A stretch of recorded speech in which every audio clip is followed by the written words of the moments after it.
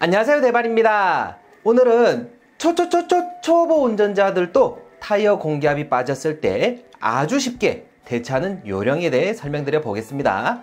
이 영상이 당신의 안전운전에 도움이 되었다면 그냥 보지 말고 구독, 좋아요, 알림 설정 해주시면 감사하겠다 자동차 운전을 하다 보면 여러 가지 요인들로 인해 타이어 공기압이 빠지는 경우가 있는데요. 요즘 출고되는 차량들은 웬만해선 TPMS가 장착되어 있다 보니 타이어 공기압이 부족할 경우 계기판에 경고등이 점등되기도 합니다. 만약 자신의 차량에 TPMS가 장착되어 있지 않을 경우 주차 완료했다면 그대로 목적지로 이동할 것이 아니라 자신의 차량을 육안으로 타이어 공기압이 빠지진 않았는지 한번 체크해 보는 것이 좋은데요. 차량의 사양 따라 어디 쪽 타이어의 공기압이 얼만큼 채워져 있고 빠져 있는지도 알려주는 스마트한 세상이 되었답니다. 그럼 타이어 공기압이 부족하다거나 빠졌을 경우 어떤 식으로 어떻게 대처해야 될까요? 계기판에 경고등이 점등됐다고 해서 당황 해 하지 마시고요. 일단 내가 즉시 해결할 수 있는지부터 확인해 주시는 것이 좋다. 만약 수리가 가능하다면 지렁이와 같은 아이템을 사용하여 수리, 수선이 가능하지만 혹시라도 훼손된 정도가 너무 심할 경우에 타이어집을 통해서 타이어를 교환해야 될 수도 있다는 사실 반드시 명심하길 바란다. 하지만 기온이 많이 떨어지다 보니 그러한 이유들로 인해서 타이어 공기압이 빠졌던 거라고 한다면 주유 완료 후 곧바로 떠날라 하지 말고 자가 정비 코너가 있을 경우에 내 차량의 공기압 적정 공기압에 맞추어 공기압을 주입해 주시는 것도 좋다 어? 이거 내가 할 수 있는 걸까? 걱정할 필요가 없다 영상을 통해 설명드려 보겠지만 여러분들 숫자만 읽을 줄 안다면 손가락을 움직일 줄만 안다면 누구든지 쉽게 따라 해보실 수 있다.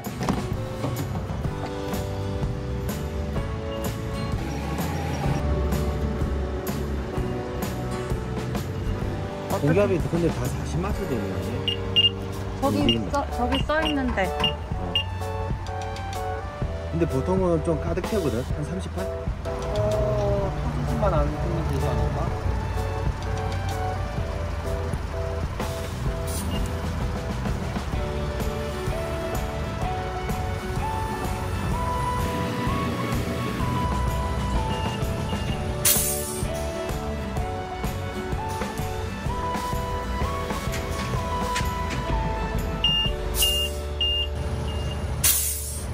터지진 않네?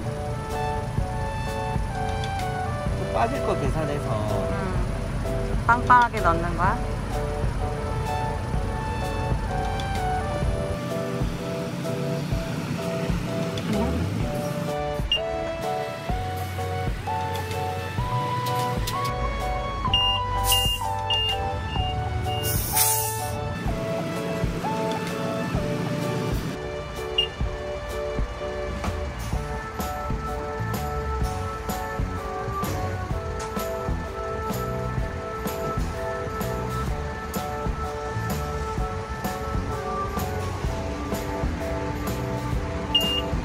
생각했던 것보다 훨씬 쉬웠던 타이어 공기압 주입하는 방법에 대해 설명드려 보았는데요.